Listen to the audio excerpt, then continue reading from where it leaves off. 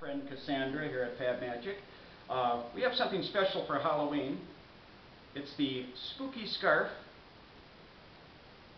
I see skulls on there, pumpkins. Do you see the black cap? Mm-hmm. There it is right there. Also, we have this ring. Now, Cassandra, pull on that. Make sure it's a solid ring. There's no cracks, no trapdoors. Mm-hmm.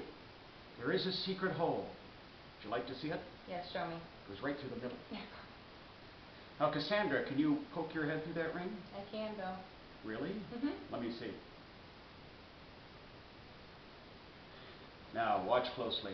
This is why it's a spooky scarf. If we thread that scarf through the ring, it'll melt right through. Tie the spooky scarf around my neck, and just like a ghost, it passes right through. Now here's my favorite. Cassandra, hold out your arm. We're going to tie that scarf tightly around Cassandra's arm.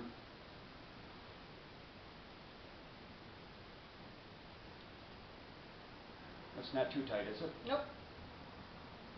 The last time I did this, the uh, lady's hand fell off. Oh no. All right, Cassandra, say Happy Halloween. Happy Halloween. And just like a ghost, it melts right through. And that's the spooky scarf available at Fab.